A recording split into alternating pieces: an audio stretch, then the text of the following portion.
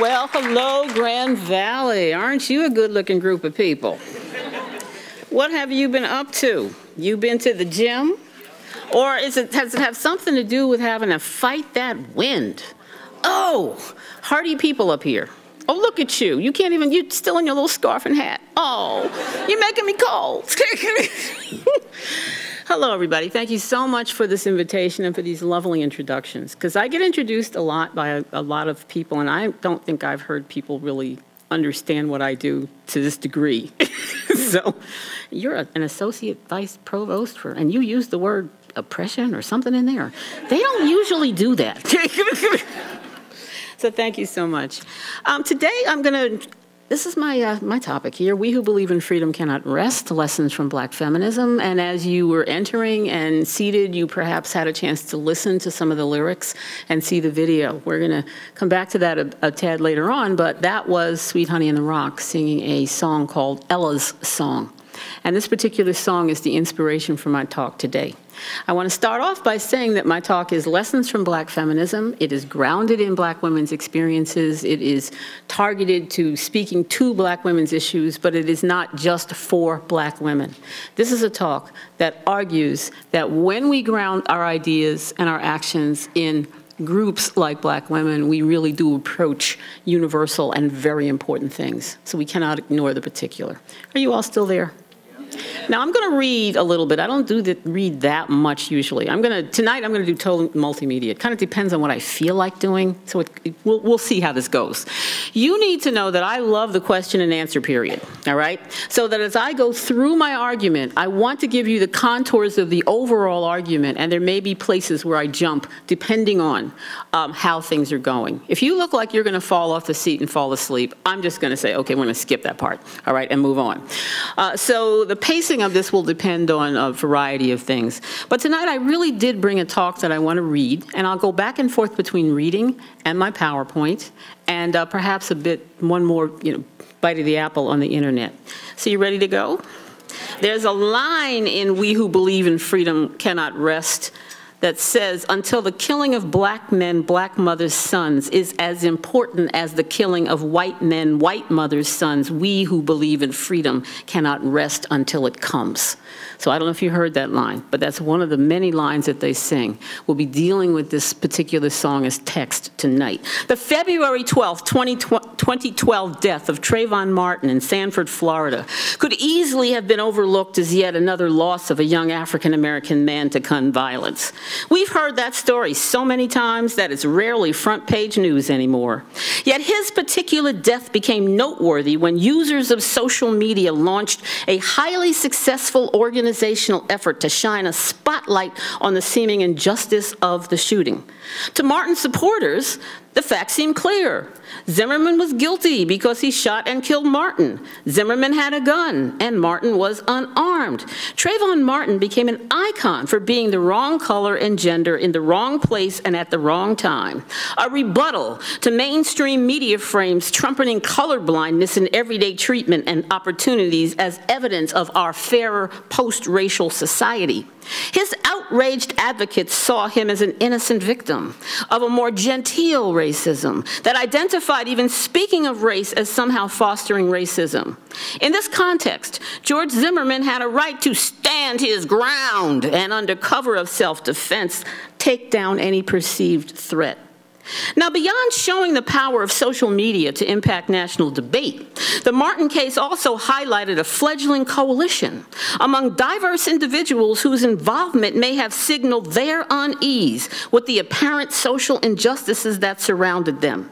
In this case, protesting Martin's killing went beyond current efforts to cast racial protest as the pleadings of African Americans for special treatment. Oh, that's a black issue, you all understand. One could understand and young black kids standing in solidarity with Trayvon Martin, but white kids standing in solidarity? What was going on here? Choosing to wear hoodies in solidarity, whites, Latinos, women, the educated, immigrants from Eastern Europe, and people from all walks of life joined in. I even was introduced by a woman, a faculty member who was from Eastern Europe, who poured a hoodie on and introduced me in her hoodie. This was really interesting. Hello, we have here tonight the Princess Talents. I was like, whoa, what is going on here? This traveled in ways that were just fascinating. You still there? The hoodie functioned as a symbol of recognition whereby those who opposed racism, sexism, heterosexism, class exploitation, and unjust treatment based on age, ability, and citizenship could find one another. This event seemingly provided a golden opportunity to build political coalitions that might tease out the interconnected power relations of race, class, gender, sexuality, and citizenship status that placed both Martin and Zimmerman in the situation that shaped their flawed perceptions of one another. The July 13, 2013 verdict stunned everyone. Zimmerman was acquitted of second degree murder and manslaughter charges. If the facts were so clear, how did that happen? More importantly, what does it mean? The political challenge for those of us who are involved in social justice work lies in maintaining a delicate balance between the struggle to keep going in the face of limited victories and repeated failures. We know that struggles for social justice, especially those characterizing African American freedom struggles, are marked by tragic deaths like Martin's. Yet they are characterized by periodic surges of interest by the general public that can recede all too quickly into a more jaded view of the status quo. Why should we try if we're always going to fail, if the courts don't give justice, if it doesn't work out? Let me go get a drink. Let me go shoot up. Let me go watch TV. The dead kind, not the good stuff. Let me do all these other things.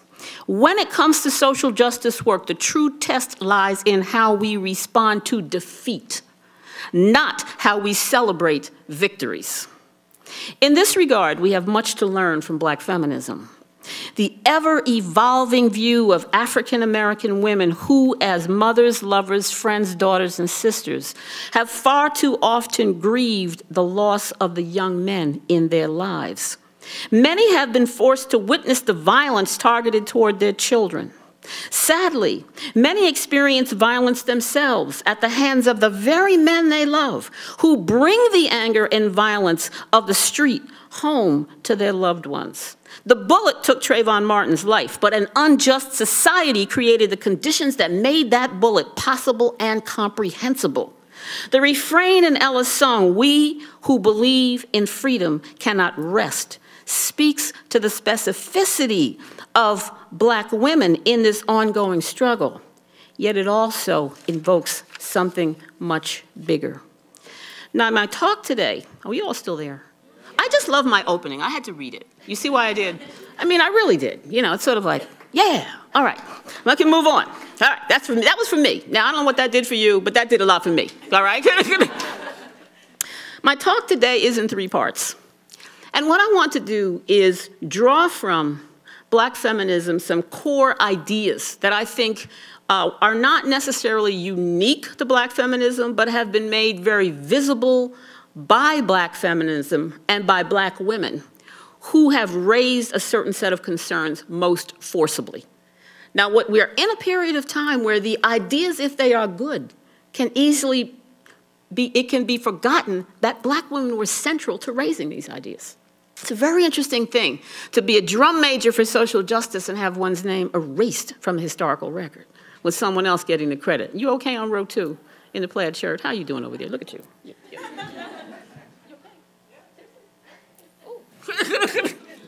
Because I looked up and he looked, I looked up and you looked a little, oh, oh, oh. so I wanted to know whether, okay, now I had to stop and just, I, I love my student here, all right, you know, just come out, I, I, plaid shirt, my man, all right, but we are dealing with, so we're dealing with tough stuff tonight. You know, I mean, why, why come and just sort of have you all smiling and happy? I want you smiling and happy, but I want you to engage big ideas and this is the way I've decided to go about it. So, the first part of, my, of the talk talks about black feminism as a, as a critical knowledge project. It's not enough just to know stuff, just to accumulate knowledge and walk around saying, I'm so smart. I just know all this stuff about fill in the blank.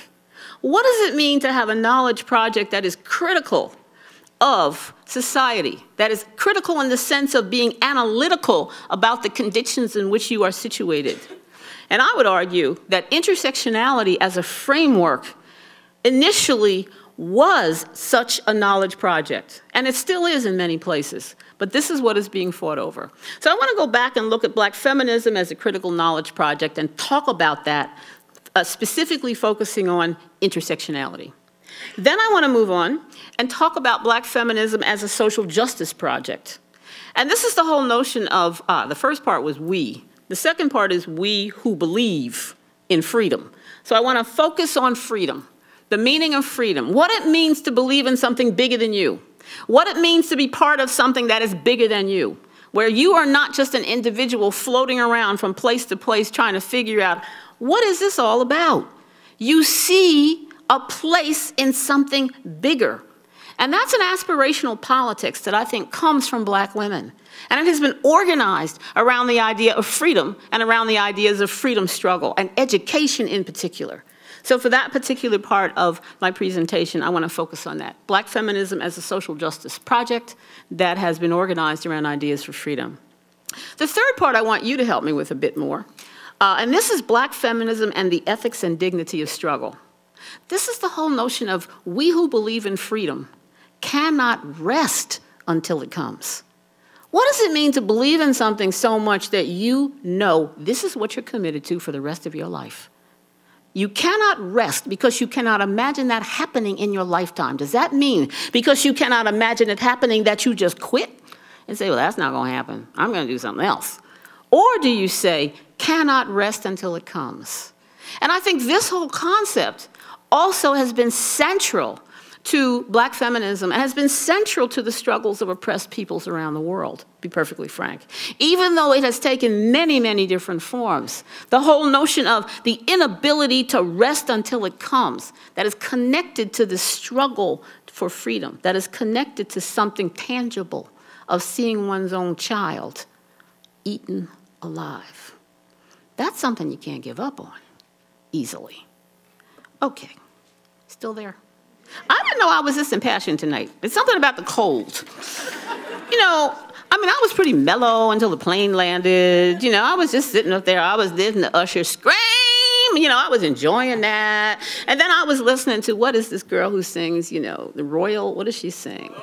I love that, Lord. I'm just, I'm on that for a couple of times. And then I went down memory lane and I was just going to blend, you know, what is it, blurred lines. I like that one, you know. Then I had my inspiration. So I had my little, you know, my little, it was old school. I, I admit it, a lot of it was old school, but I was pretty mellow. I didn't anticipate that I would be this fired up.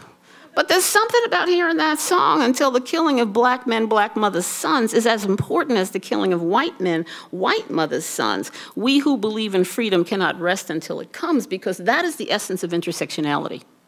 It says you cannot just worry about the killing of your children.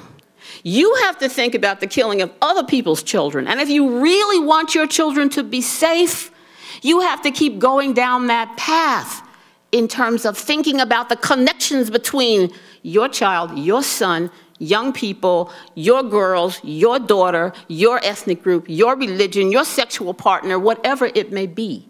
That's the connectedness. There it is in that one little line. So, I'm going to read a little bit more, okay? Because if I start talking, I will never finish. It'll be tomorrow. We will be in here. Your, your loved ones will be looking for you and texting you. What happened to you? You know. In many ways, the group Sweet Honey in the Rock continues the legacy of a specific historical moment where art, ideas, and activism could merge in specific forms. Early modern black feminism was filled by these kinds of artist activists, scholars activists, mothers, teachers. African American women who used their social locations at the intersections of multiple systems of power to claim and not apologize for the vision provided by that space. By now, Toni Cade Bambara, Audre Lorde, Alice Walker, Toni Morrison, to name a few, are recognized figures of black feminism. Yet I wonder whether the way the Academy has incorporated them as well as their commitment to freedom and their expansive understandings of social justice, reinforces our current separation of art and activism, of scholarship and activism. And these patterns of incorporation inadvertently impoverish the power of the social justice vision that lies at the core of their work. Some academics blithely quote, the master's tools will never dismantle the master's house, without ever knowing that Audre Lorde said it, or the context in which she delivered this powerful message. Over time, the names and intentionality of Lorde and similar artists, scholars, intellectual activists may fade, leaving an efficient university system that talks the talk of social justice, but that increasingly refuses to walk the walk, except here apparently. Okay, we're not talking about Grand Valley. All right, no. In this context, I want to stress that black feminist praxis was a central, central site that catalyzed intersectionality as an analytical framework on the world. It was very attached to black feminism. So to attempt to sever it and to say, oh, those days are gone, you know, we're we have a universal theory, this is, a, this is a red flag. The insights of black women involved in articulating black feminism is quite simple. They looked around and realized that neither race only, nor gender only, nor class only, nor sexuality only analyses of their oppression was likely to foster their freedom. These political responses to black women's subordination might yield relief, but they were unlikely to result in a lasting solution. In response to this insight, they claimed the right to speak for themselves and place themselves and their own interests and in the center of analysis. Now, many people did and still do have a problem with this stance. Anytime you put black women in the middle, or black men, or any group that is a derogated group, the claim comes up, but isn't that particular? Is, is that universal enough? Maybe what you ought to do is do a comparative study of black women and white women. Yeah, that'll make it better. To put black women in the center and say we can actually theorize and argue from this location and see things that we cannot see from other spots remains radical and something that we continue to fight for. blah, blah, blah, blah, blah. Okay. blah, blah, blah, blah. There's a lot of blah, blah in here. But I've written a whole book on this. So I would encourage you to, you know, like I liked it when the, the pompous professors say, I would encourage you to read my book on this topic if you want to learn any more. And I promised I'd never do that, but you know, in this case, maybe that's what I should say, all right? Or we would be here all night. in the next section of my talk, I'll talk more specifically about black feminism, about one facet of it. But here I really want to focus on this analytical frame of intersectionality and what it means and keep in mind that some of you are complete rookies to this. This is like inner what, inner who kind of thing. And others of you have been thinking about this for many, many years. So what I want to do is try and just do a quick summary of some of those main ideas of what intersectionality is, because I want you to appreciate the, scope of kind of what they came up with. Singing Ella's song. I just said that to you working definition of intersectionality. I have four points, just so you know. Here's the first point. Intersectionality is an emerging field of critical inquiry and practice that examines how complex social inequalities are organized, endure, and change. That's academic talk. Now, translation, all right? This is a field that basically says you're not going to understand violence. You're not going to understand violence. How it is organized, how it endures, and how it changes, how it feeds into social inequalities, unless you take an intersectional lens. And the kind of intersectional lens that you're going to need to take, I'm going to go forward and then I'm going to come back. The kind of intersectional lens that you need to take is that race, class, gender, sexuality, ethnicity, age, ability, religion, and nation constitute intercon interconnected systems of power that produce complex social inequalities. So let's think about something like the example of violence. Trayvon Martin is shot. It's not a simple case of Zimmerman misrecognized him and it's like two dudes, you know, fighting it out. It wasn't a racial issue exclusively. It was very much about masculinity. If Trayvon Martin had been a woman, do you think he would have gotten shot as quickly?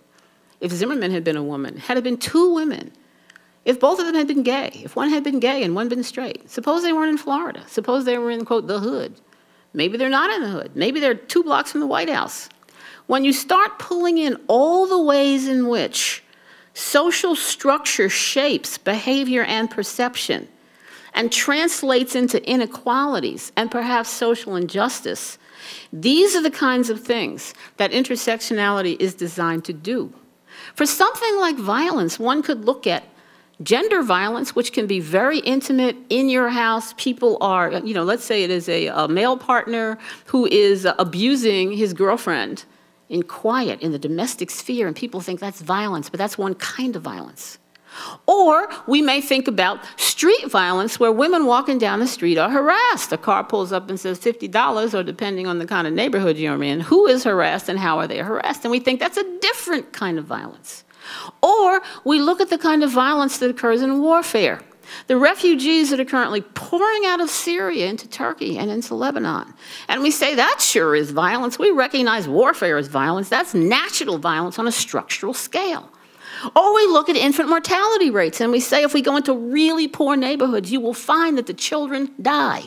They don't necessarily die because somebody shot them. They die because they're poor and because they lack access to services. We have learned to see violence as a social issue, as disconnected, as scattered, and as somehow buried within separate systems of inequality. There's racial violence, there's gender violence, there's hate speech and violence against gays and lesbians, a situation in Uganda. There's national violence. There are all different kinds of other violence on different levels of society. But in order to really understand the complexities of an issue like that, we have to take an intersectional framework that takes me back to number one. Intersectionality is an emerging field of critical inquiry and practice that examines how complex social inequalities, and I'm using the example of violence here, all right, as one outcome, are organized, endure, and change.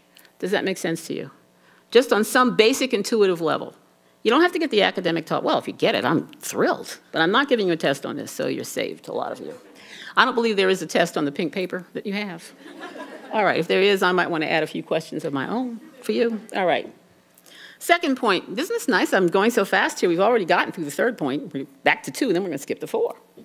I want to stress this point because this was one that is just very special and dear to me. Scholars and practitioners practitioners. Hold it. What did I just do? did I skip the three and put this up? So you mean I, I did correct my slides? Wait a minute, let me back up here. That's what I wanted you to see when I was saying the last thing. Is that what you were looking at? Okay, so then I want you to look at this. Yes, all right, so you haven't seen this yet. So my slides are actually in the correct order. Oh, this is amazing. Scout, no, no, no, no, no. I want to go back. I want to go back. Hold it. I want to go back. No, no, don't. No, don't. Hold it. Because I'm still, I'm still deciding what's the best way to put this. No, no, no, no, no. What's that doing in there? Oh, gosh, these are messed up. All right. I can work with this. I can do this, all right? What I really wanted to say, although it's number five, uh oh we are in trouble because we're looking at the wrong PowerPoint. All right, but we'll see. I can work with it. I did do it, so I know what's in it. the point that I want to make here, and I think this is a very important point intersectionality is not just an academic discourse. You will encounter this in colleges and universities, you will encounter it in coursework, you will encounter it as a scholarly debate. And there are many scholars who would be perfectly happy to argue about the in intricacies of intersectionality. But I want to put down here that activists, service providers, human resource staff, grassroots organizers, parents, teachers, kids, and ordinary people from many walks of life have also found intersectionality to be a useful tool in understanding and challenging the social inequalities that they see in their everyday lives. This is a tool that's taken, gotten legs under it. And I think it's because it's come from the situation of black women and black feminism. Now, scholars have a particular set of concerns that they are interested in studying. But this whole way of seeing the world as somehow having connections, I think is the bigger idea that I want you to take away right here. So let me just read a little bit before I move on to part two, because I have a few things I do want to say about this.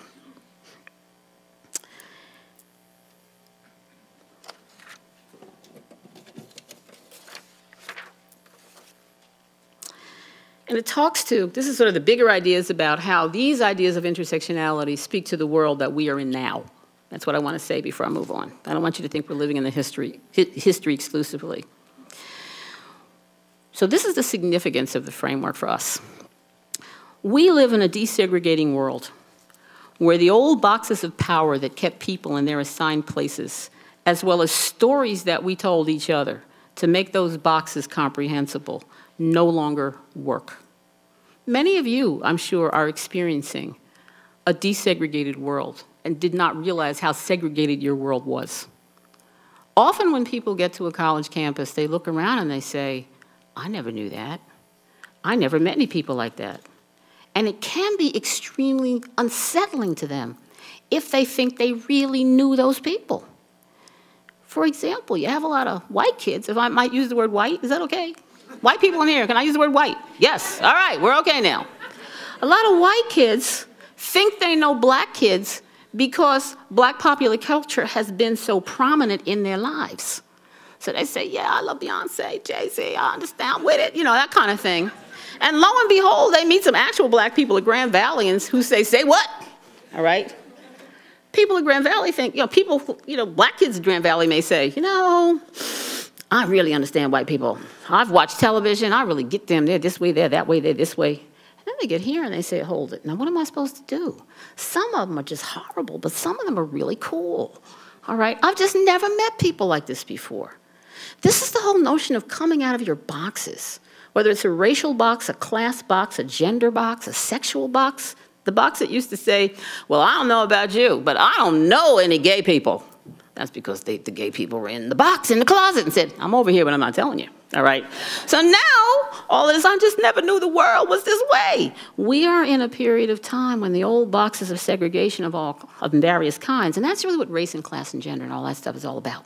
It's been organized to a logic of segregation you see. So when black feminists look around and they say, this logic of segregation, we cannot see our way to freedom in this particular logic. We've got to challenge the bigger thing of segregation. So we live in a desegregating world where the old boxes of power that kept people in their assigned places, as well as stories that we told each other to make those boxes comprehensible, no longer work.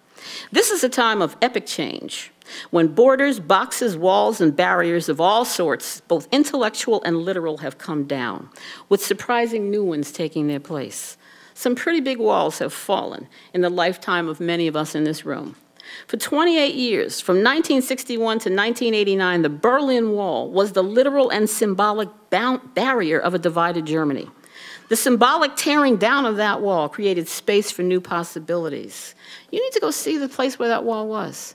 You need to learn that, that whole history of, of just people climbing up that wall and saying, we don't want a wall. We don't want to be segregated. We don't want to be walled off. We don't want to live the rest of our lives in a gated community, afraid. You see, that's what that was all about. The void, blah, blah, blah, blah, blah. Okay, fine. All right, I have other examples here, but I'm not going to worry about that. Are you all still there? Uh, yet, in response to these very changes, and there are lots of changes I could mention, the putting up of walls, the border between the US and Mexico, big old barrier. Let's, you know, we can't have, you know, the whole thing of trying to contain whatever's on the other side that is so threatening. All right? The gated communities, as I've mentioned, which are global and are attached to wealth. They aren't necessarily racialized. In some places they are, but they're attached to wealth and poverty. The whole private space is the space that's the good space that's within your border. And that's scary public space outside that might find its way in and do something horrible to you. This is the life that many people are living, a fearful life. All right. Now, in response to these very same changes, the erosion of old certainties encourages many to try frantically to push the changes back into the boxes, conserving the imagined peace and quiet of tidy social relations where Negroes knew their place, uppity women were burned as witches, or political dissidents of all stripes were committed to insane asylums. But will reestablishing the status quo magically erase all those biracial babies approaching adulthood? Some sporting afros that rival those of Dante de Blasio. He's the son of the New York mayoral candidate, Bill de Blasio. If you saw him, Dante was in he was in the campaign, at least in the East. Is censorship the answer to LBGT folk who are so brazen that they openly kiss and propose marriage to one another on cable TV's Project Runway? Oh, what's this world coming to? You know, if that's what you're seeing. Some see the erosion of the boxes of race, class, gender, sexuality, ethnicity, religion, age, and ability as a good thing, creating more space for individual freedom to say and do what you want. But many do not. And I would argue that violence that we see in the globe today is very much tied to ways of preserving these old ways of thinking.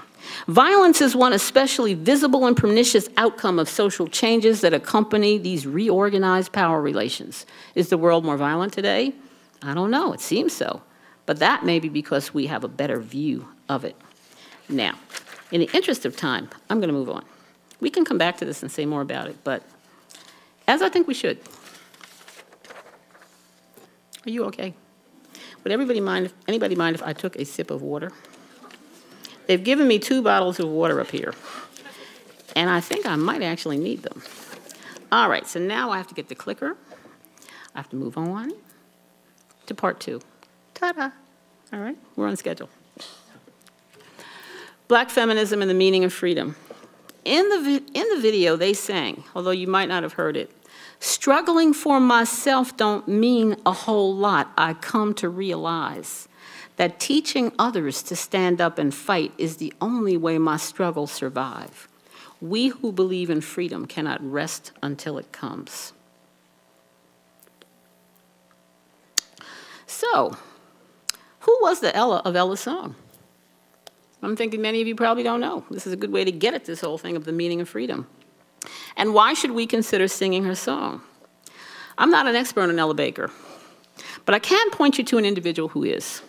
We've got a book cover here. Oh, wait a minute. Hold it. What did I do with the clicker? Oh, there. Watch this. Is that cool or what? Hold it. Let me get this. Ella Baker. Barbara Ransby. I love this place. You have great technology here. All right. but Barbara Ransby has written a path-breaking book on Ella Baker and the Black Freedom Movement, a radical democratic uh, vision. How many of you have ever heard of Ella Baker? That's good. All right, because she's one of these people where she has been so central, but there are a lot of people like her who've done major work, but we don't know much about them because the scholarship doesn't retrieve their lives the way it might or they didn't write a lot themselves because they were so busy doing things.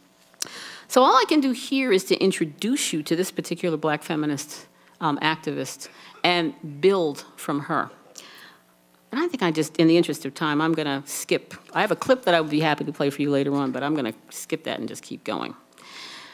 What I really think is important for me to say here is this. Black feminism as a social justice project has been deeply embedded within the broader freedom struggle of African American communities. Now, if you think I'm exaggerating or using the term freedom struggle loosely, loosely, let me say a bit more about what I mean. Freedom struggle within African American communities has a palpable meaning. And within that broader understanding of freedom struggle, education broadly defined has been a core site of political activism.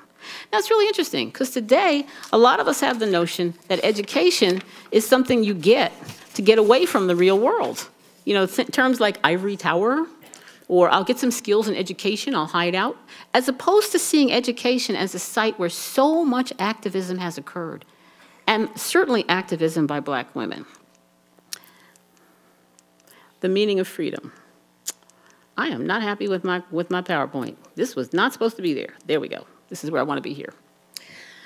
African Americans' critical education and black freedom struggle. What I want to argue here is that freedom struggle has been central for black women and for African Americans. Now, how many of you saw 12 Years a Slave? Any of you see that? That is one of the, it's the only movie I think I've seen where I've been able to go to a, a movie on slavery, which, that I think actually got at the sense of the aspirations of enslaved people, what freedom would have meant for the slaves that you saw, for the enslaved people you saw in that particular film. Under slavery, literacy was forbidden. Northup was able to free himself because he had literacy. He was able to smuggle a note out to say, come and help me. So the power of education, and education is being central to freedom, is the way freedom has been organized within African American communities. So under slavery, you have reading and literacy. After slavery emancipation, you see a tradition of founding schools and of public education. During the civil rights movement, the Brown versus Board of Education, which took down the whole edifice of segregation, was about education. There were many other things that were segregated, but education was seen as the site of struggle for the future. In the 1960s, the racial desegregation of higher education became ground zero for black students and their freedom struggle. Because when they entered higher education, it wasn't just as tokens, it was an opportunity. They came as ambassadors from their communities, and institutions changed as a result. And in the 2000s, we face a very different kind of, or maybe a continuation of these earlier struggles. Are you keeping up with the uh, situation at the University of Michigan, Ann Arbor? I believe they've got a, is it a Twitter thing going on? What is that that they've got going on? Hashtag B, BBUM, being black at UM. All right, and the whole notion of why that would emerge now and use that particular format, people not realizing these are not just strange black students there. These are fewer than before as exclusion sets in again, you get, you get behaviors changing. So we're in a very interesting period of time of access is being limited, incorporation of who, and co-optation.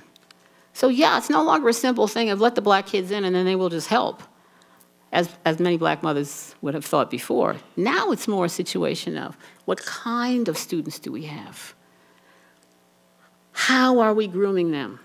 How might some of them walking around talking stuff about intersectionality that is not connected to social justice find better prospects for employment? Perhaps an Exxon, I don't know, or somebody like that. All right. So the whole notion of thinking about freedom struggle and working with the young and education has been quite central. Now, this is where Ella Baker's work becomes really important. Because Ella Baker was in this, um, this period of time. Where is my little, my little light? Come on, come on. Oh, never mind. It's the one in the middle. All right? the civil rights movement. She was central to the civil rights movement. Working with young people, she was central to SNCC, the Student Nonviolent Coordinating Committee. And she said things like this strong people don't need leaders. She says, My basic sense of it has always been to get people to understand that in the long run, they, they, in the long run, they themselves are the only protection that they have against violence or injustice. People have to be made to understand that they cannot look for salvation anywhere but to themselves. So for Ella Baker, the idea of leading people to freedom was a contradiction in terms. Freedom occurs when you can lead yourself to freedom. Freedom occurs when you have the critical insight to figure out what needs to happen next and to try. So, this link between freedom struggle, between black feminism and intersectionality are really very linked. Because without that vision of freedom, without something bigger that you're a part of, why would you keep going? It's just a day to day grind to get up every day and just keep going. Let me move on to part three. We're not going to be able to do all of that. I'm sorry. I have been a bad presenter, and I have to move on to part three so that we can, in fact, engage the entire argument. So, so far, I've taken you through Black Feminism as a knowledge project and talked a little bit about intersectionality and its implications, what it is and how it works today. I've moved into the second part, which talks about um, we who believe in freedom, the significance of believing in something, not just, you know, sort of, I don't know, just, I, I agree with it, but you believe in it. You give yourself over to it, body and soul, because it's going to be part of who you are. You cannot let it go. And I've introduced to you the whole notion of African American freedom struggle as one example of we who believe in freedom. All right, so the first part was the we. Who's the we? Intersectionality is a more expansive notion of we. The second part, uh, who believe in freedom. Now I move on to cannot rest until it comes. So, black feminism, here, the ethics and dignity of struggle. Now, I open this talk by pointing to the facts of the Trayvon Martin case. Here, I want to identify another fa facet of the Trayvon Martin case that points to a third lesson in black feminism. The Trayvon Martin case raises the question of what to do when one knows about oppression, when one sees the injustices, and in this case, experiences failure. No matter how impassioned the social media organizers, no matter how long they persisted, at some point they simply lost. What does it mean to say, we who believe in freedom cannot rest until it comes? Is that just a song? Now, I'm a sociologist. My job is to study the patterns that underlie social structures, to learn how to analyze and think about the social injustices that are woven into the fabric of our everyday lives. I've brought to you ideas about intersectionality and ideas about black feminism and ideas about freedom. But is knowing enough? Some days I want to rest. Some days it feels too big, too much. How can any one person think this much? You know more and you see more and you feel you can actually do less. That is a dangerous place to be. So once you know about social injustices, what do you do? Once you know that social change requires repeated episodes of failure, how do you keep going? Some days, the more you know, the more impossible it can all seem. Once you understand the magnitude of the problem, helped out by intersectionality and freedom, how do you keep going? When you are tired, when do you get to rest? There's a real fork in the road between the pessimist who says, I'm going to put my head down, this is all too big for me, I don't want to know, I'm simply going to have to run away someplace and leave it behind. But these black women could not let it go. What if you go out of your way to ignore injustice? But you don't want to know, but it lands on your doorstep day after day after day. And that's fundamentally the situation that many, many black women have been in, and not just black women, obviously, but many people are in. I, know, I see so much now that I don't really want to know. The challenge is to resist becoming numb to this dehumanization, to not dehumanize yourself in the face of the suffering, especially if the targets of such assault are you or your loved ones. But what do you do? But once you know, then what? Now, what stood out for me, I'm actually pretty hopeful here, by the way. All right, you need to know this. I'm moving up to a hopeful crescendo at the end. All right, just so you know. I don't want you going home crying and all that. What stood out for me in this event was that many of Martin's followers saw themselves in Trayvon Martin. They saw his humanity. They saw injustice through his humanity. They did not stereotype him as just another black kid who was in the wrong place. He probably did something. He was a thug. And not only did they see it, they seemed willing to try and do something about the social injustice that he faced. There was a fledgling we there among people who before couldn't find one another, but who had a catalyst. So when those hoodies went on, that was a catalyst. Might not have been a lasting catalyst, but it was something different. Perhaps many people who were doing that saw the possibilities for a politics that was bigger than their own individual self interest. You know that's what our politics are like in this country. You only do things just for you self interest. Altruism, doing things for other people, stupid, loser, just put an L on your head. You're giving your money away. What's wrong with you? That kind of thing. We live in a country that really encourages us to be individualistic and mean spirited beyond um, who we are. I think we're better than that. So when I look at this, I began to see another politics emerge, another politics that emerges from another generation. And this is the generation that Ella Baker helped nurture. We who believe in freedom cannot rest until it comes. There's a line in there where she says, handing it over to the young. That's what needs to happen. Now, you know, let me say, even that wasn't enough to get me going. All right, I'm just thinking, oh, well, I got to go give this talk, and Trayvon Martin is so depressing, boo hoo, boo hoo, boo hoo. But what was interesting for me was why I picked this particular song. I have a nephew, young African American man going to a, he just graduated from a school, small liberal arts college. Can I say it? Can I say the word white again? Okay, very white, okay, in a fraternity, a white one, all right? And there he is, you know, just sort of doing his thing. You know, he's, he's living the post racial dream, I thought, whatever, all right?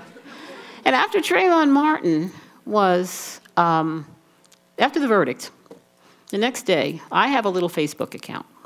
I have 21 friends. Now, I know some of you have like 5,000 friends, all right? I don't need 5,000 friends. I don't even need the 21 I have. Okay? I might drop a few of those people. But I go on my Facebook to, to relax. I don't go on there to keep up with the latest trends and this, that, and the other. But my nephew had posted the link to this particular video. He posted the link to We Who Believe in Freedom Cannot Rest Until It Comes, Ella's song, Sweet Honey in the Rock. And I thought, how'd that happen? That doesn't make any sense to me. So clicked on it and I'm looking at this and I'm saying, ah, I hadn't thought about this in a while. But what intrigued me was the fact that he was the one who posted it, you see. So I think something is going on that I really want people to help me think about. It is another kind of politics that's attached to youth. It's a politics that embraces, it's a generational politics, that embraces ideas like freedom and recasts them in the language of social justice. It embraces ideas of intersectionality, and this is why I stress scholarship and practice, because it doesn't necessarily separate scholarship from practice. And it's a politics that may bubble up in the most unlikely places. One of the students that I'm working with at the University of Maryland is doing a dissertation on spoken word poetry. And she has spent the last two and a half years um, following around and visiting and participating with young spoken word poets in the Washington, D.C. area. When I say young, they're high school kids, right? That's how young they are. And the things that they are talking about openly through their poetry, through speaking them aloud and constructing a community of folk from so many different backgrounds, the things that they talk about honestly and openly is another form of politics. So she's writing a dissertation where she's trying to think through the implications of us looking for politics in one place to such a degree that we don't see it in another place. Where there, it's a politics, sadly, of hope. That's a phrase that has been hijacked. You know, you have a good word and then they steal it and they use it to sell you chicken, all right? Like, you know, my first, when I saw my first rap Kentucky Fried Chicken rap commercial, I said, that's the end of that. All right, that genre's done. All right. so we have to be careful when it's the politics of hope and then it becomes a slogan for an election campaign. All right. But maybe this is a time when we really have to hang on to that particular word because this is probably why we believe in freedom cannot rest until it comes. Because we remain hopeful. And the reason we remain hopeful is that we can imagine things that are different than the way we are now. We know it doesn't have to be this way. And we also take responsibility for trying to do something different. Like when those poets take the risk to get up in front of people and say the things that they say, man, those are some responsible people. They're not off in the corner whining about what somebody didn't do for them or why can't I have another multicultural person in my staff and blah, blah, blah, all this, that. I'm not saying that's happening here. I know it's not happening here. However, they're not doing that. Maybe when we start talking about we who believe in freedom cannot rest until it comes, we build on that expansive notion of we. We build on that notion of committing to something bigger than ourselves. And we build on that notion of cannot rest until it comes because we see the ethics and the dignity of struggle. We see struggle as something that has meaning, even if you don't win. Because when you do it for a bigger cause, how can you go wrong? So, we who believe in freedom cannot rest until it comes. I leave you with that one sentence I would encourage you to go to the website of the Ella Baker Center, where there's a lot of information on her, and you can see this video, and you can do all those kinds of things. And I have nothing to do with that center. I didn't set it up. I don't get any money for it or anything like that. But I want to stop there. We who believe in freedom cannot rest until it comes. Thank you. Hi. Um, I'm taking a, um, an African American class here on campus, and um, AAA 340. And basically, we're talking about post blackness and black solidarity.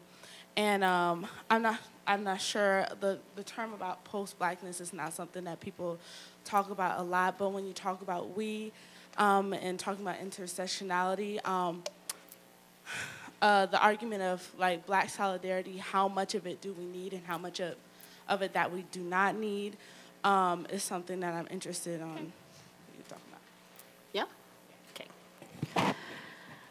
People tend to think that you have to have one thing or the other, that you have a racial solidarity or you have an interracial solidarity, in, you know, interracial solidarity, as opposed to recognizing that the process of building solidarity occurs within every single group that you are in. So among black people, there are efforts to build solidarity. There's huge heterogeneity among black people. So the whole question of post-racial, um, I would be perfectly happy to be post-racial if the country would quit shooting black kids, to be honest with you. All right, so what I'm trying to say is post-raciality is one of those um, dreams that I suppose if you can convince enough people that they're post-black, they can say, that's the world I want to live in, I'm already living in. So as an aspirational concept, to be judged by the content of your character, not by the color of your skin, all of that is uh, very, very worthy. That's definitely a worthy goal. But to conflate the, the, the goal with the reality of we're already here can take away the language that you need to get there. So getting to a post-racial society or a post-black society, whatever that might be, means you got to go through race to get there. You got to deal with the ugly stuff of the uh, injustices that are built into the system itself that may be in the rules themselves in terms of something like the mortgage crisis would be a really good example. We're so busy worrying about our identities that we're not looking at the structural things that are happening around us. African Americans have lost the vast bulk of their wealth from 2008 on because of the mortgage crisis. Because black wealth, which it took a whole generation of people to accumulate to buy houses, lost equity in those homes. And many of the loans that they were in, this is black and Latinos and poor people, by the way, but you really see it in terms of how it operates in certain black neighborhoods, lost their wealth, lost their money. Now that is a, how is that post-racial, you see? If you see racial disparities like that, who benefits if we take an argument that it's post-black? It's not post-black, but it's not exclusively black. And this is why intersectionality is really important. Because until you can see the patterns in your own community, among your own group, and see what your own interests are, it's very difficult to engage in coalition with others, you see. So the coalition with Latinos, with whites, with poor whites, with, I mean, a lot of different groups who are, who are coming from very different locations and saying, I see myself in that situation. I see my issue in that situation. That's where I was going with the whole notion of Trayvon Martin. And you have people who were really bothered by that, who did not look like Trayvon Martin, who've never been to Florida, who might be even named Zimmerman, and they're wearing hoodies, all right? Those kinds of things. So we live in times when we're really trying to figure out what a social justice agenda would look like. And rushing too quickly to um, collapsing, assuming we're living in the future, is not a good solution. And also why would I want to abandon post-blackness? I like black. Why do I want to be post-black? You see? Black's cool with me. So the whole notion of what does that mean? It's just, is that a political category? What is that? All right? So I just think these are really interesting times around those types of issues. You see, and, and not jumping up too quickly to take up the rhetoric of the dominant group and just say, because we're in college, we're going to make it our own. I'm just feeling really forthright tonight, so let me know if I'm scaring you at all, because if I am, maybe that's a good thing, but I'm just tired of prettying things up, to be honest with you. So much of what we do in academia is just pretty. Pretty, pretty, pretty. Nobody wants, you know, yes. Now you're gonna have to really yell because you're not at the mic, all right? So just yell it out.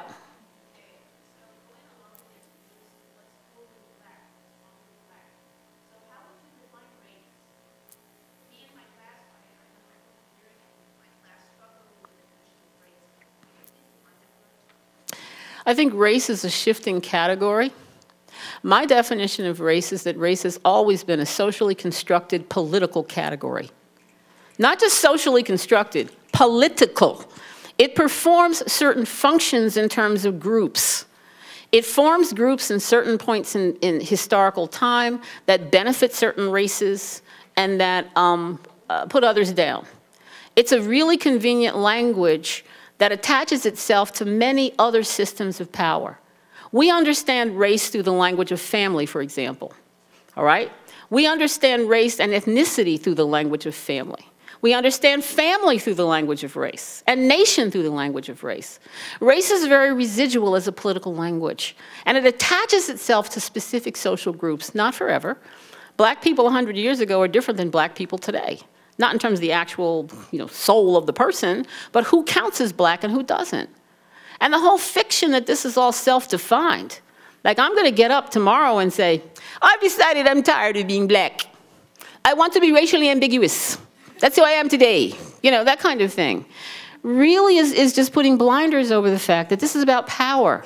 This isn't about identity. Identity and identifications come from power. So if we want different ideas about race, those are contested constructs. I would really like to see a political notion, for example, of something like people of color. People of color can just mean pigmentation.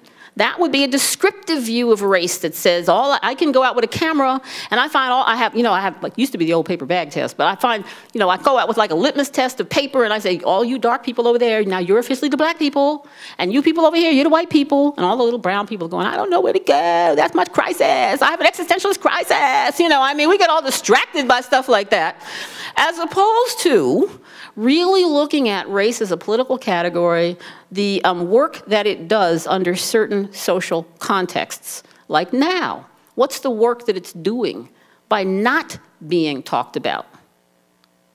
Yeah, interesting. So I don't know if that's a firm definition, but that would be definitely a mini teachable moment about race. That's how I would describe it, and racism.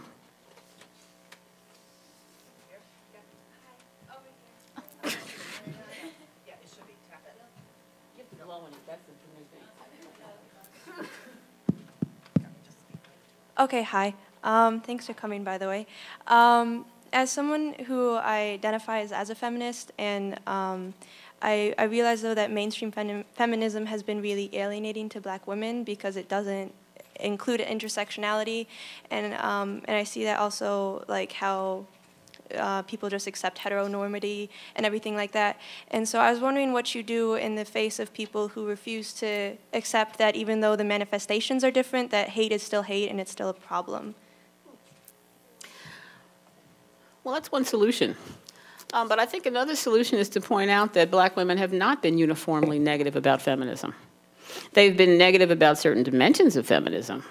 A feminism that has an intersectional frame and is really inclusive I don't see any negativity there. And in fact, if you go back, you will find that black women have been feminists for quite some time.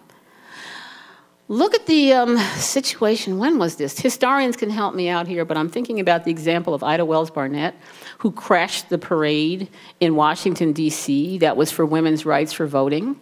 And the white women of the South said, We can't have you with us because, um, you know, that's going to make it bad for women. They wanted a, a gender only. Uh, argument that meant gender meant white women. And Ida Wells Barnett said, oh, no, no, no, no, we're not going there with you on that one. This is really something different. I can find you lots of examples of black women.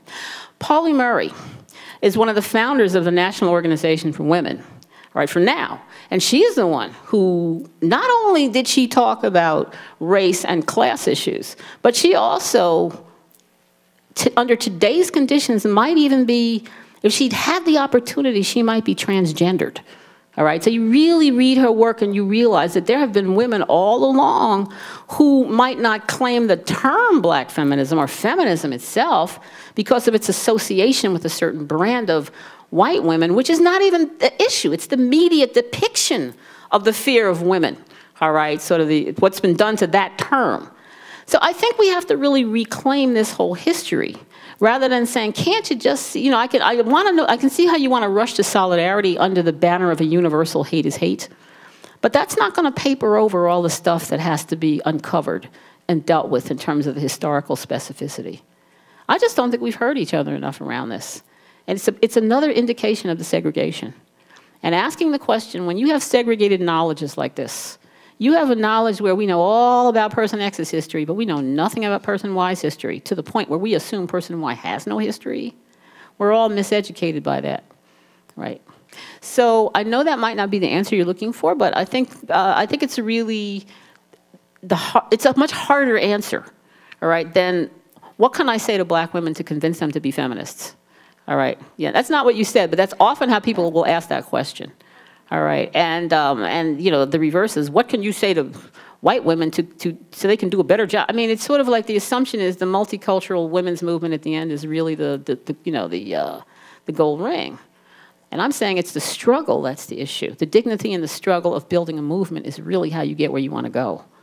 All right. Okay, I'm not sure about that, but I may say more about that in a minute, but that's what I'm saying for now, all right?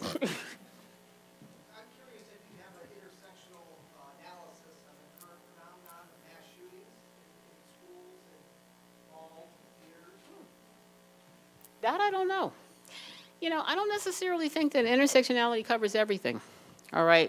But I do know that certain forms of violence, I think, that are mass shootings, they take that form, are associated with these issues. Um, the case in, um, gosh, Norway, I believe it was Norway, the young man who went and armed himself, it wasn't a school shooting, but he armed himself and, and sort of planned a massacre of youth.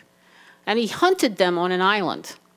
What is not talked about is that those youth were young, progressive youth. A lot of them were multicultural. They were youth of color. They really spoke to the whole notion of uh, Norway, I believe it was Norway, um, no longer being Norwegian the way historically it had been.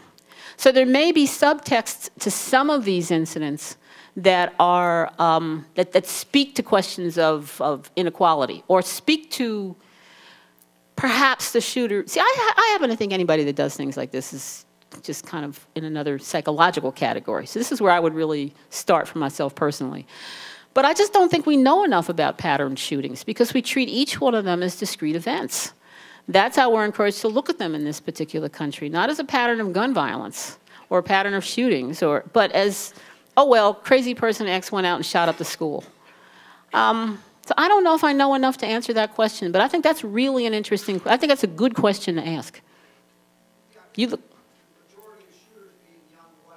yes. But then there's a guy at um, Virginia Tech who was not. He was Korean. He was a young man, though. You know, so the whole question of mental health and mental illness and what helps people be healthy and ill, and you could go down the road of access to services. You could go down a lot of roads there in terms of structural stuff. It becomes really complicated. And who is really responsible when someone does something like that? The people who stood by didn't do anything. So that there are a whole lot of ways of slicing into that particular issue.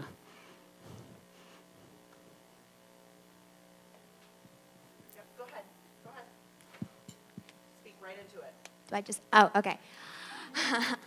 Hi, um, again, thank you for appearing today. Um, I'm currently in a women's and gender studies course on campus, which I absolutely love.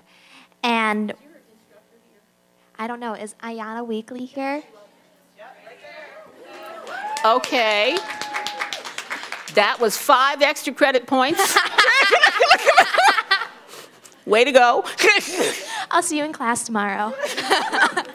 um, and we examine different inequalities, not just gender, but also racial, social, and sexual inequalities in our society and around the world. And we also read from personal experiences and essays from amazing authors. And the entire time I was sitting there, I was wondering if there was a an experience, if there was an event that has personally affected you and just made you into the woman that you are today and has made you this just Um, you. well, I don't know about all, all that sounds kind of heroic, but I mean, trying to, because there have been, there have been so many things when you're outraged. They usually tend to be experiences when I'm either outraged or very, very sad. You know, I mean, the experiences that, that really stay with you are the ones where you say never again, or you say that was wrong, and right now I'm little and weak and I can't do anything about it, but someday I will. I mean, I believe in the power of memory. So I would have to go back to earlier incidents and um, wonder things. And a lot of them have to do with my mother, who I haven't really talked about or written about. Because I don't, you know, I, I, in this culture, this confessional culture, this is what people want you to do. They want, it's something called the money shot.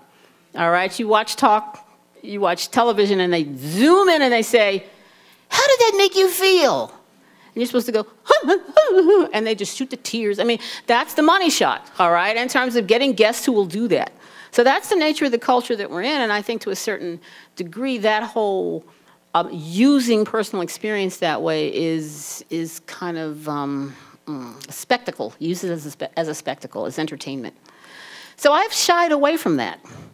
But at the same time, I really realize the power of things that are attached to certain things I care about. For example, I think the major issue is growing up in Philadelphia and trying to really come to terms with the difference between what my parents were told and taught and tried to teach me about America and the reality of what they had to go through, which was completely different than what we were taught. My father was a proud veteran of World War II, and yet he could not get a loan to buy a house in the suburbs. So every time I teach material about the suburbs, I think about that.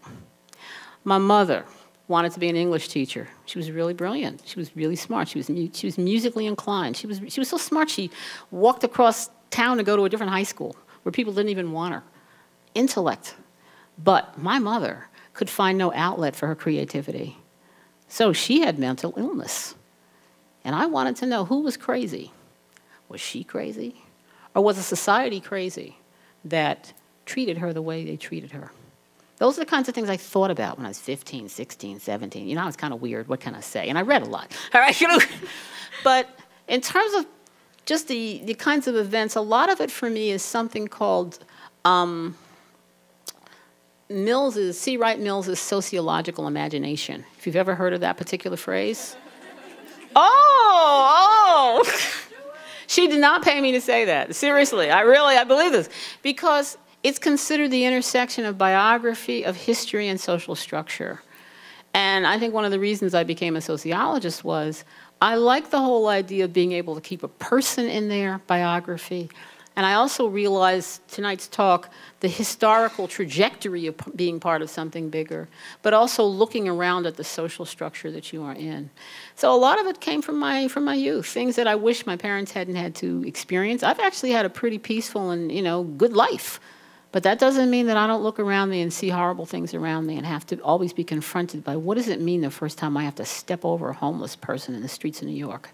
Because when the, when the social safety net of the country began to shrink, I'd never seen that. And lo and behold, after, excuse me, in the 80s, when you know, a certain political party came in and started cutting back on housing, uh, I saw people sleeping in the streets. I'd never seen that in America. We, sent, we had a social welfare state, I thought. And what does that say to me to dehumanize myself to not see that suffering? So, you know, we're always confronted by all these kinds of things if we open ourselves up to look. The issue is how to analyze them and how to connect them to something bigger than ourselves. And that's the history and that's the social structure. So I know there wasn't a like pristine story about when I was this and when I was four. I could tell you the Queen Pat story. I like that one. The day all the boys didn't come to daycare. Excuse me, all the girls didn't come to daycare. Big snowstorm. All right. And that's when I realized gender early. I went to daycare. But, you know, the uh, girls didn't come because they didn't come. The boys came. It was like seven boys and me. And I took over the playhouse and I ordered them around all day long. It was wonderful. You come over here. Baba P, Baba T, Baba Ooh. It was such an it was like such a power rush when I look back on it. You know, and that's, you know, kinds of, you know, those kinds of things in terms of coming to terms with what gender really means. Those experiences that you have and you say, well, what was that? Why am I remembering that one? So I have fun ones, but I also have some very sad ones too. All right. Thank Okay. you. Why am I doing this? I'm surprised somebody's over here. Okay. How are you? I just want to say that it's an honor being here in your presence. I've, excuse me, um, done a lot of extensive research on your works in in terms um, and looking at a lot of the um, controlling imagery and black sexual politics research that you've done regarding media images. So in looking at contemporary programming on TV, especially in prime time right now as it considers black women, I don't know if you're familiar with Being Mary Jane or Scandal and the characters on those shows. Before I continue. Okay, okay, okay. So now that we have you, I guess, on record being a gladiator, um,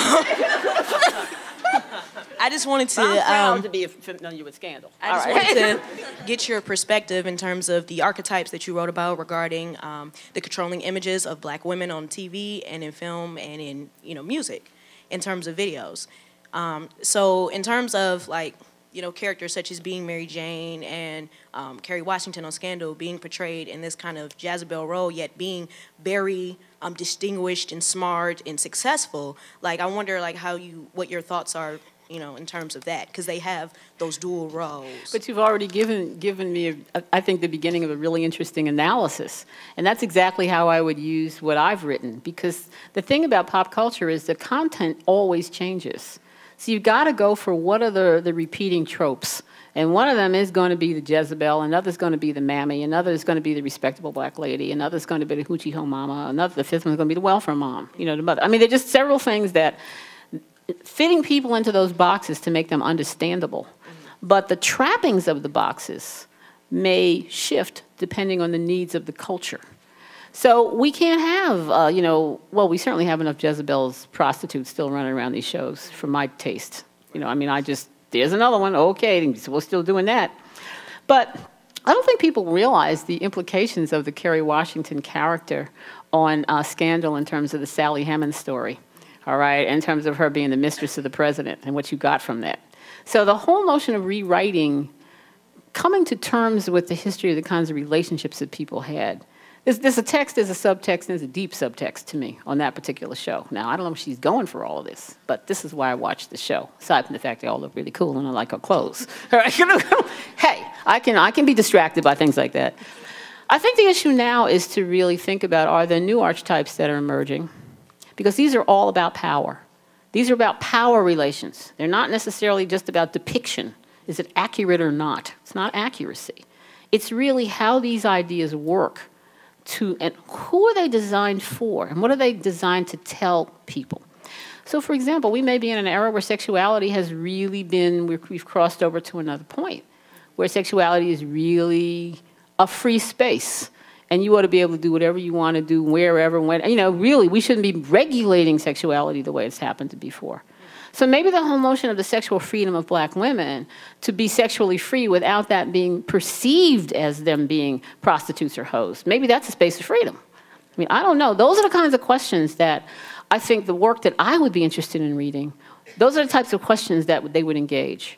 So i'm not particularly interested in being right or wrong about anything because i don't think there's right or wrong there I think it's a question of laying out some conceptual tools and a starting place, and then seeing where are we in 2014? Where are we in uh, 2024? I'm trying to do 10 years at a time. Because I can't, you know, when I retire, I'm going to be happy as a clam watching all the stuff that you're watching. But right now, I just cannot afford to keep up with pop culture. So you're going to have to write it. Okay. So somebody who is thinking about these things and looking to explore some of those topics, like what advice would you give in terms of a starting point? I would start with what you know. I would start with what you think. Always start with your own honest voice and trust your gut. Really, you know, just look at it and say, something's not right there. I can't figure it out yet, but I will. Or, I'm not sure about that. There's something good, you know, something like when I had to think about bootylicious. I don't know how I felt about bootylicious. You know, on one hand, there's this whole history of booty, you know, booties and black women's booties and what that meant and da da da da da, and that was accurate.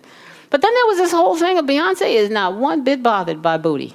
All right, and she's getting paid to be bootylicious. So I mean, I had to really think about what is.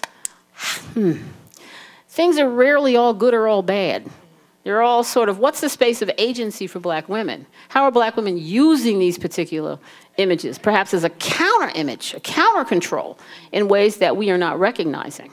Yeah, you think you can control me with that image of booty? I'm gonna take it back. You're gonna pay me to take it back. That's a very interesting way to think about the world. So I don't know. This is a different set of um, economic and class relations that we're in now. We're in a different phase of capitalism it runs differently than it did before in some ways. Uh, so what I, the advice I would give is trust your gut. Sketch out the argument, and you may find that the things that support your argument that are in places you didn't even think to look.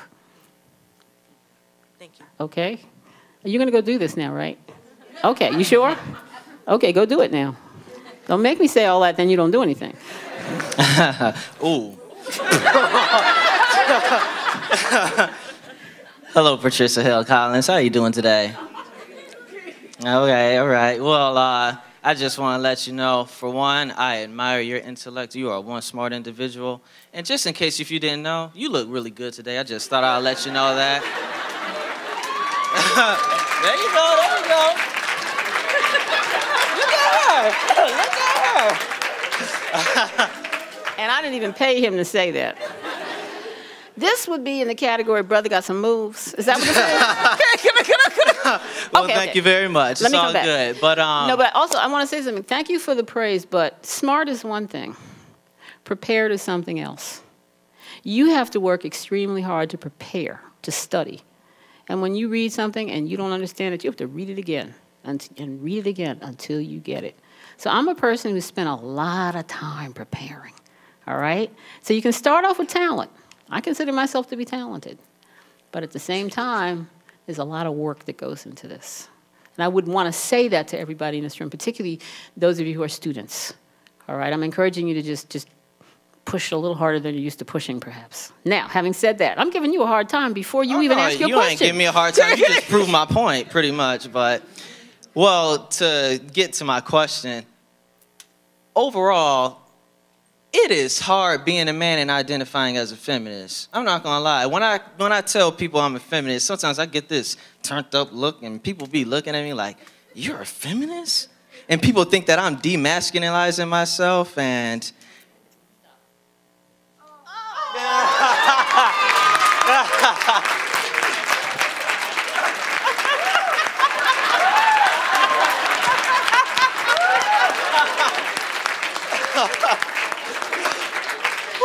that is the answer.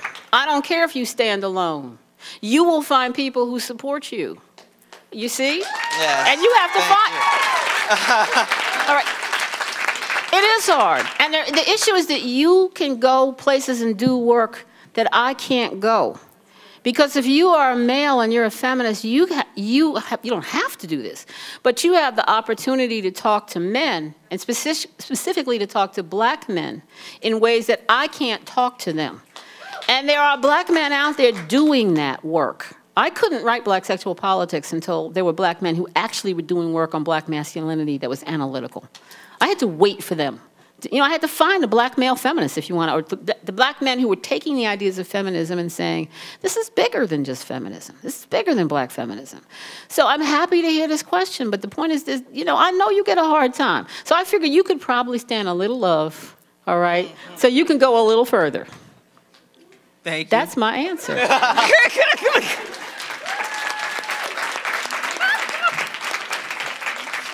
and I have never done that before. So you are the first.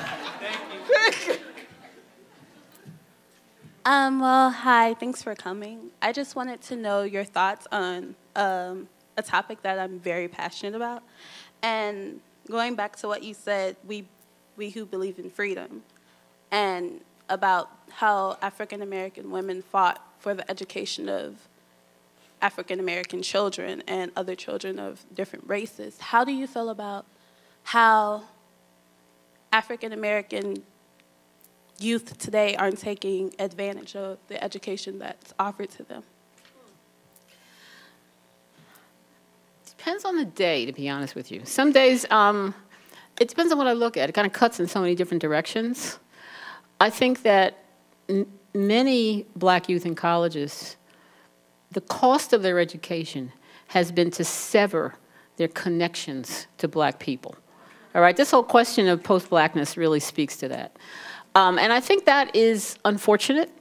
That there, you know, that, uh, and if you want to, that's fine. But I'm saying if that's the cost you have to pay, that's unfortunate. So when I hear black students who just don't know the history and what it took to get them there, in terms of their responsibilities, um, that they're a beachhead, that not everybody gets to go, you got to go, what are you going to do with it, that kind of thing.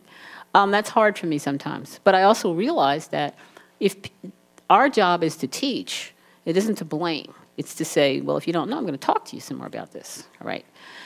I don't necessarily think that's the same situation in high schools. So when you say youth, I would look at youth in college and I would look at youth in high schools.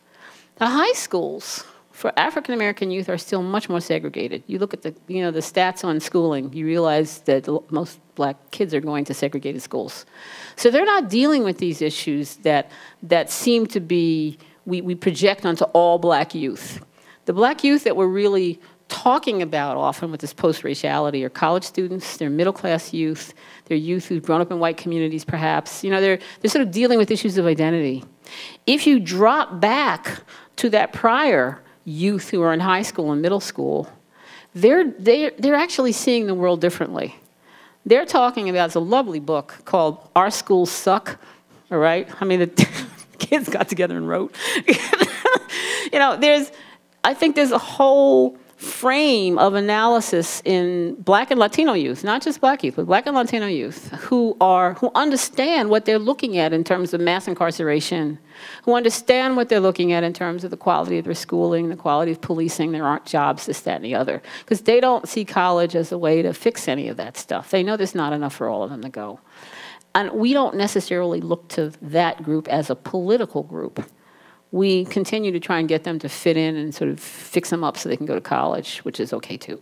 So I don't know. I think we just need to do a better job of thinking about, of studying actual black youth, as opposed to speculating based on anecdotal information of the five people we know or the students in our classes that we see, and you know, wherever we may be. I just don't know the I don't know that I want more answers to those kinds of questions. Hmm, sorry. Hello. Um, I am actually in an African American studies class, and we were discussing black feminism versus white feminism. And I wanted your opinion on the contrast and how black identity kind of influences black feminism. To be honest with you, hmm, I hear this the right way now. Right here. I think that's not the question we should be asking. All right? How, so I'm not going to answer your question. I'm going to ask, hmm, what question should we be asking? Perhaps we want to ask, what are the points of overlap, convergence, and divergence of black and white feminism, or the feminisms that have been expressed by black and white women? Right? Rather than thinking about this thing as a feminist thing, it's a bunch of ideas, excuse me, a, a knowledge thing that's finished. There's this thing called white feminism, this thing called black feminism. We think about both of these we think about all feminisms as emerging from the lived experiences of the women who craft those ideas and the men who also participate in crafting them and supporting them. And we begin to look where are the points of convergence and divergence among black and white women as they're actually living their lives? What are the common issues that they both raise, albeit differently? I think one is the question of violence. I've certainly mentioned that, but it's going to take a different contour. It's going to take different um, forms depending on whether, let's say, a, middle class straight white woman who's married raises the issue of sexual violence in her home, and a uh, black woman who's middle class raises issues of sexual violence in her home and can't raise it the same way because she has certain images she has to uphold because she's respectable, that kind of thing. Um, we have to begin to look at more conversation and dialogue to even know what each of those things is black feminism and white feminism. Now, if you're asking the question, what does racial identity have to do with black feminism? Why would we not also be asking the question, what does racial identity have to do with white feminism? Because those are both racial identities. You're asking a question of how do race and gender uh, work together in expressions of feminism. And I would also encourage us to broaden this discussion so we're not just talking black white, because that is very much an American uh, frame, right? So we need to have other people in this conversation around building whatever a feminist agenda would or would not be. That is truly um, reflexive of the groups who are in it, who are in it.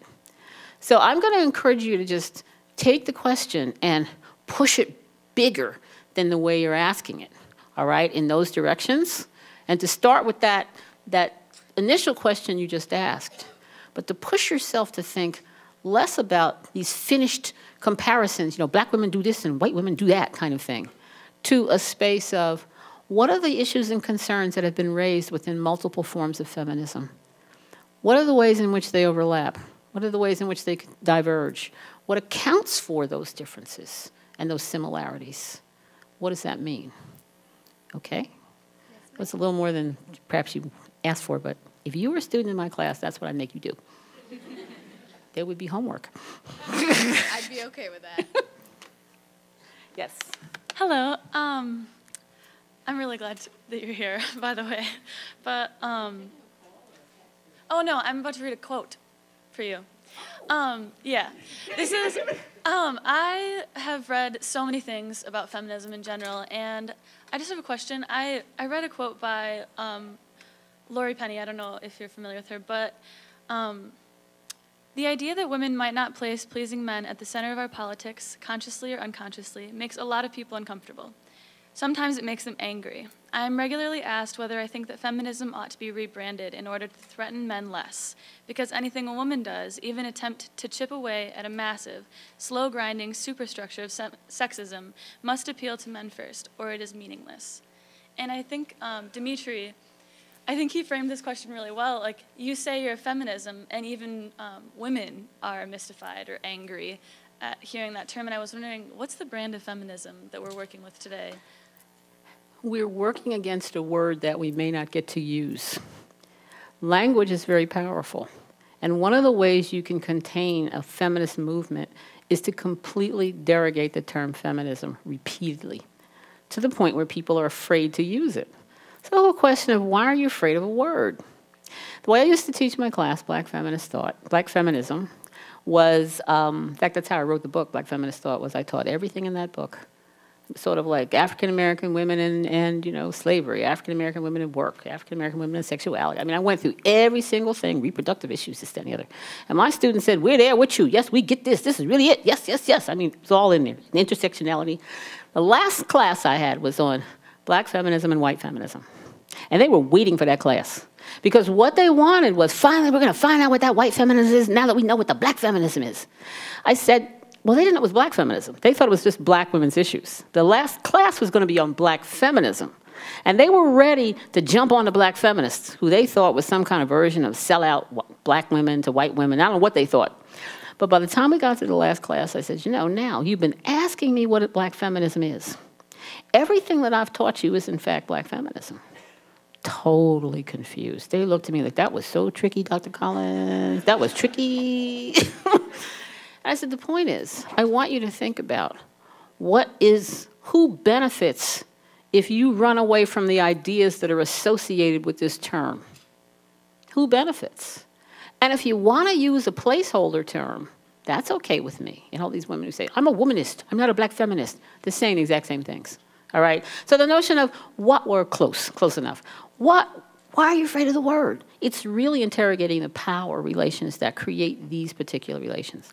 I would also disagree with this person around a feminism that puts pleasing men in the center. I don't necessarily think that's what a lot of women do. I certainly don't think that's what lesbians do.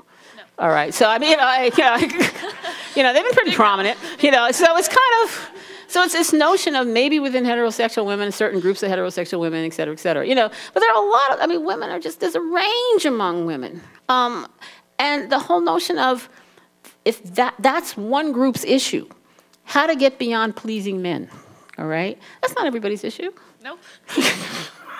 That's exactly what I mean about these conversations that need to occur. Those are the kinds of things that get hammered out, all right?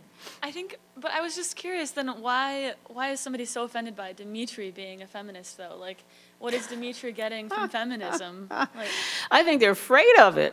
I don't think they're offended. I mean, what's the, what's the offense? You see, if people do not, what is the fear of somebody who, who statistically is really a minority that has, if you're, if you're strong in your masculinity and non-feminism, why are you worried about him, you see? If you're strong in your heterosexism, why are you worried about gay marriage? If you're strong, I mean, th these things are far more symbolic of gatekeeping than we usually give them credence. So that's what this is all about, because these are guys that are going to have, I think I'm assuming it's guys, could be women too, that say, I'm going to have to think about myself differently if you stay this way. And I don't want to do that, so you have to change. And he's going to have to say, don't think so. That's when it gets interesting. Thank you. Okay? Last person? Yes. I, I like being first. it's okay. Hi, thank you so much for being here. Um, I do have a question. Um, one, I appreciated the comments you made about um, academia translating into activism. Um, I do have a question um, about how does that happen today? I work in a community with um, people who don't have opportunity to go to college. So when I'm looking at books and documentaries and things to show to talk about feminism and breaking down patriarchy, all of it is in such academic terms and language that I don't know um, how to present these things um, without, you know, having to sit there and translate each book no, no, or, no. right, That's it. what? No, no, no, no. That's what you have to do. You know, when I talk about education as a site of political action, this is exactly what I mean. I'm not talking about teaching in schools and how to change the curriculum, that's part of it. Mm-hmm. But when you talk about education, where you really educate somebody to be free and to own ideas and to understand ideas and be empowered by them, that's teaching. And then you've got to figure out how to translate the big ideas that are worth it for them and hear them so you, you think back to those big ideas to see whether they're all, all that you thought they were. And you become really important as a translator in between.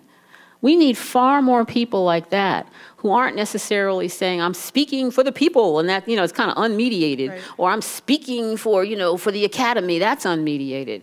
So that's the hard thing. That's the hard work. And there are wonderful people out there doing that.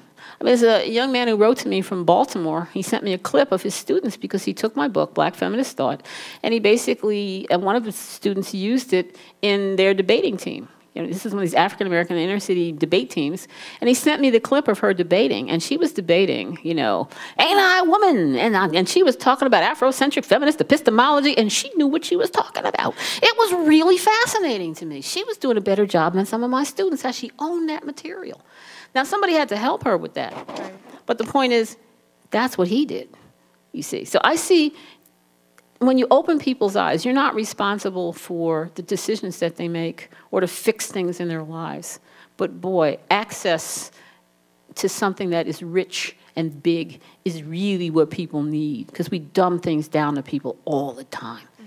So I think it's really important to, you know, like bring people along. So you, th- what you were getting ready to throw away, you know, like, well, short of translating it line by line, is exactly what you do. This is what I did when I worked in the community schools movement. Okay. This is how I learned African American studies. I, instead of my colleagues were in seminars reading Frantz Fanon, I'm going to be teaching this next week, the irony of it all, reading Frantz Fanon, The Wretched of the Earth, and I was teaching seventh and eighth graders. Now that language is really difficult. And what I was doing was looking at what's in that book and what's of relevance for them, and how will I talk to them about those ideas they can't read Fanon. And then what are the ideas that they're going to talk about that will inform my understanding of how I'm going to read Fanon. And that's how I read everything. What is of use to them, not what is of, and to me, not what is of use to um, to my seminar. So I'm, I'm sort of like trying to impress somebody who really doesn't care about me. And that that skill of translation is invaluable. That's exactly how I work, right at that space.